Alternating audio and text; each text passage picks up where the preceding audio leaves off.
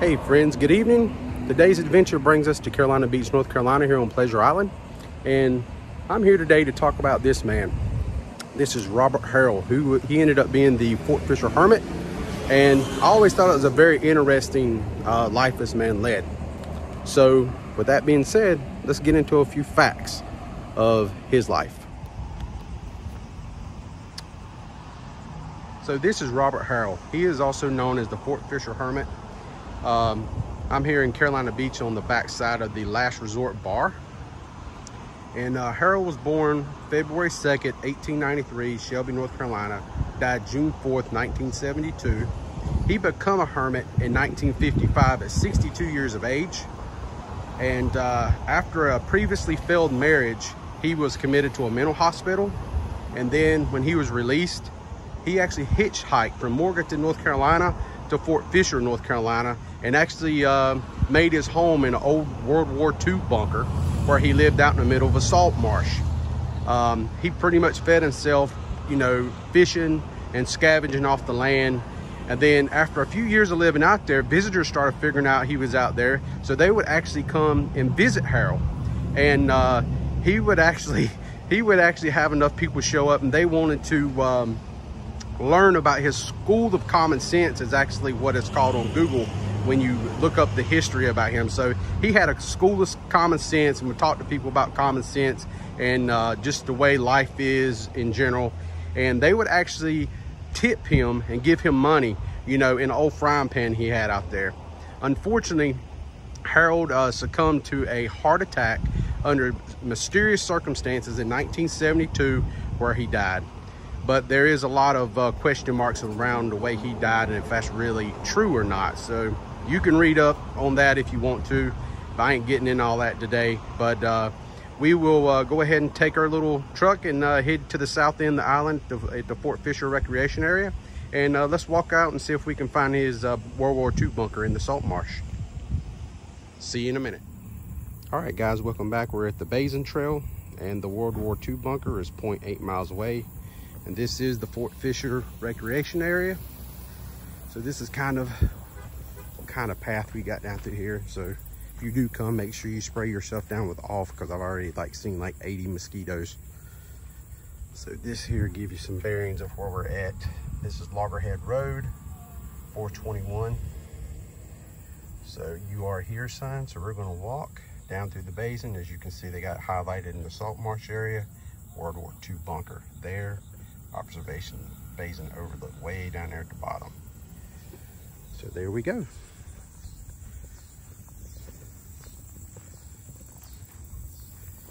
So I ain't gonna talk this whole entire time, but I do just wanna give you some highlights of the trail, kind of what it looks like. There's a lot of, you know, foliage, it's a lot of it's in shade here in the beginning. But as you move through the trail, there is a section that's uh, can be kind of difficult. Uh, it's kind of sandy. You kind of step onto the beach just a little bit. And uh, so definitely when you come back here, always have on some kind of shoes, cover your feet up. Um, you just never know what you might run into on these trails. I have seen snakes back here before, like a copperhead. So just always think about your safety uh, when you're walking through these trails. I think, I mean, right now it's summertime and it's, you know, kind of humid and hot, but I think it uh, a good time to do this if you've never done it before or if you don't like a lot of heat is definitely the fall. You know, when the temperature is a lot cooler, a lot less humidity. So uh, when we get up, uh, when the terrain changes a little bit, I'll give you a little update of what it looks like. So right here we got the aquarium gate, the Basin Trail left. So just to give you some bearings of where this is located is you can see through this fence right here you can actually see the Fort Fisher aquarium I don't know if you can see it if just don't pick it up on camera or not but the actual aquarium North Carolina aquarium at Fort Fisher is actually beyond this gate right here so you're just behind it and um, we just ran into some people a few minutes ago that said that you know look out for banana spiders so they supposed to be really big and pretty. So we'll keep our eyes peeled on that and any other kind of living creature back through these trails. But like I said, this, this early part of the trail is really nice because it has got so much shade. And uh, just don't forget your off if you come here in the summertime. I cannot stress that enough.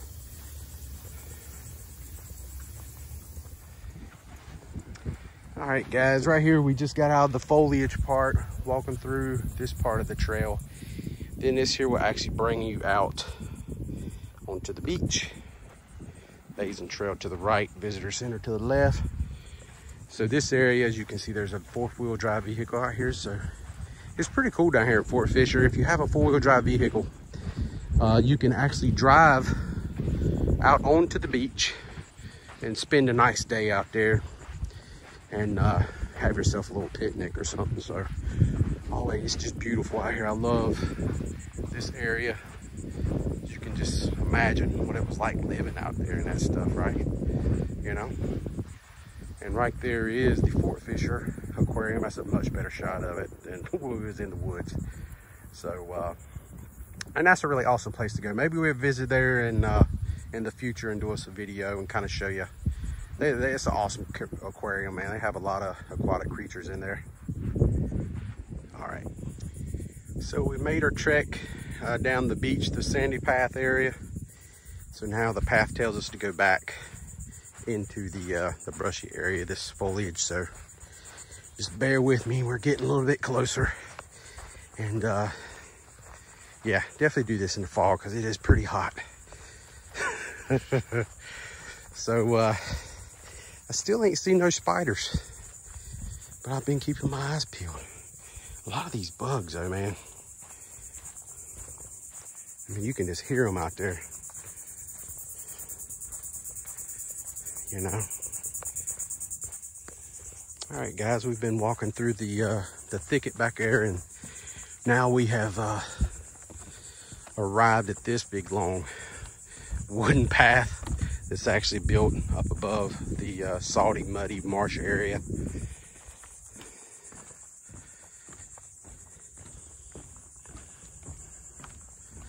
Golly, that's beautiful.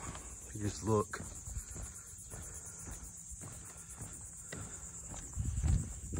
Definitely nature at its finest, right?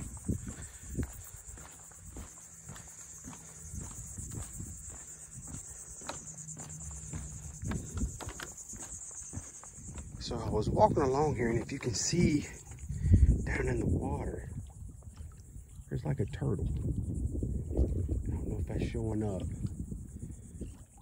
But yeah, he's just out there swimming around. That's pretty cool. Hopefully we don't see no gators or anything. But that turtle right there, he's just having a good old time. And he's got all kinds of stuff in there to eat on because there's a lot of movement, fish and things like that. And I thought that was a turtle, but no, that's no turtle. That is a crab. You see them? You see there's all those crabs in there. I thought that was a turtle, but no, that's just a huge crab. Look at that thing. Oh, how cool is that?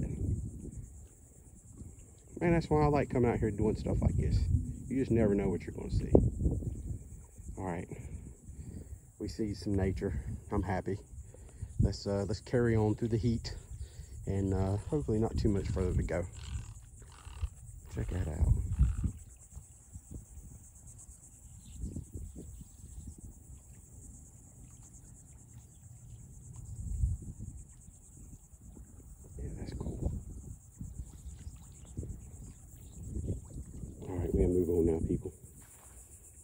All right, friends, we have made it. Here is the World War II bunker sign this way.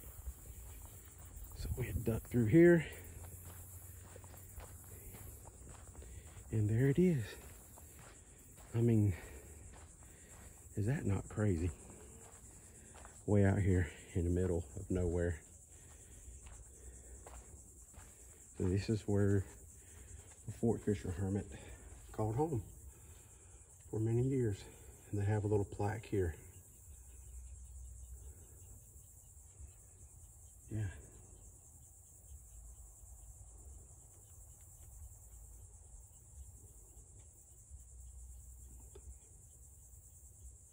Unsolved death. His grave is at the Federal Point Cemetery, which I know where that is, and we will go there next to go see his grave. It's on the backside of the island off of uh, River Road. So yeah, man. Just walk in here. I don't know how much is got some graffiti. There's a crab over there on the wall. I bet all kind of living creatures love this thing because it is quite a bit cooler in here. A lot of echo, but this is where he lived for quite a while, man. I mean, that's just, it's amazing. And I guess if you wanted to, you could, if you was feeling energetic, you could climb up on the roof and kind of look around, but it's pretty thick, the foliage and stuff back here, so you probably ain't gonna see too much up there. But uh, that's it, man. There we go. We know where he stayed. So now if you want to be adventurous sometime and come out here, you know, uh, you know, kind of how to get there. It does exist. So it's just out here in this marsh off the Basin Trail. So uh, I'm going to continue on. And uh, I guess the next stop will be his uh, grave site at the cemetery. So uh, I will see you there. I got a good walk back. So if I see anything exciting, I'll make an update to the video. All right. All right, guys, that uh, there's the Basin Trail behind us. We uh, went out there, checked out the bunker. Now the next step is to go see his grave site on the backside of Pleasure Island off of River Road. And uh, I'm on my way now. I cannot wait to get in the air conditioning. Oh my goodness. It is so hot out here today. So please, if you do come in the future, just remember, don't be crazy and uh, do it in the August, you know. Do yourself a favor and uh, come out here in the fall or early spring. All right, I will see you in two seconds. All right, guys, we, uh, this right here is River Road on the backside of Pleasure Island and the Fort Fisher Hermit is actually buried back here in Federal Point Methodist Church Cemetery. So I'm gonna walk back here and uh, check it out. So just to give you an idea, there's the road, there's the highway, and here is the cemetery. So we're just gonna walk straight on back. You see, that's all fenced in, so I don't know. I don't know exactly how close we can get, but check it out. And I want to make this very, very quick. And I'm going to tell you why. Because of the mosquitoes. They love me. I'm not kidding you. They're like all over the place back here. So try to make this really quick. So this is it right here. I knew exactly where to come. So check that out. So here we go. Right here's where he lays. June 4th, 1972. You can see people here. Actually has like a frying pan, you know, and this is what I was reading to you about in the beginning. They actually got real money there. So he, he is very beloved in this area. I will definitely say that, you know, everybody around here, you know, knows about the Fort Fisher Hermit for the most part, especially the locals that's lived here for many years and my family, we've uh, we've been coming to these areas for, you know, my whole life pretty much. So I always heard heard about him. So, alrighty, let's uh, move on because, like I said, it is very mosquitoy. So uh, let's uh, let's trek on out of here. All right, guys, this concludes our video today. It was uh, it was trying today, but we made it through it. And uh, I hope everybody comes out and checks this out in the future. If you're in this area in Wilmington, North Carolina, come down to Pleasure Island, check this out. You know, just plan accordingly. And uh, I think it's really interesting. And uh, it's a nice little nature walk. So uh, that concludes today's video. If you would, please subscribe to the channel. We have some more content coming. Anybody who follows us on Instagram, Hitchhiking Yeti, uh, we actually love going to Disney World, Universal. We go to Florida quite often, and uh, we will have content coming from those parks in the very near future because the 50th anniversary is coming up. So uh, all in all, thank you. Thank you, and I hope you enjoyed it. Y'all have a blessed day, and uh, Godspeed.